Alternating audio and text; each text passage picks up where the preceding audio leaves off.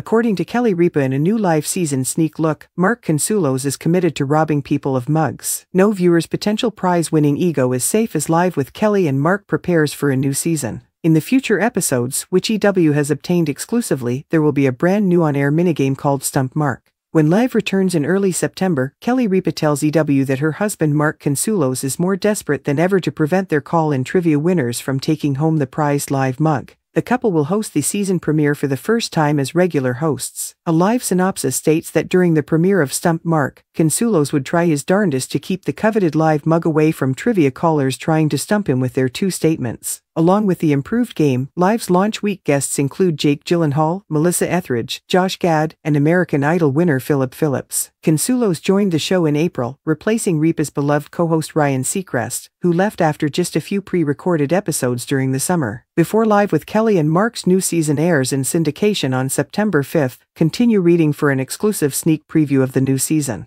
Nelson Ripa Although Mark and I have co-hosted this program over the years, today is the start of our first season together. Mark Consuelos we cannot wait since it is so large. We are excited to start working again on September 1st after such a wonderful holiday spent with friends and family. Another new component in the quiz game is called Stump Mark. I've been working out. Ripa, he's been exercising his talents by robbing people all summer. Even in our home, no one is allowed to use a cup. C-O-N-S-U-E-L-O-S until they pass a test, that is. repo if they pass a test, then yes.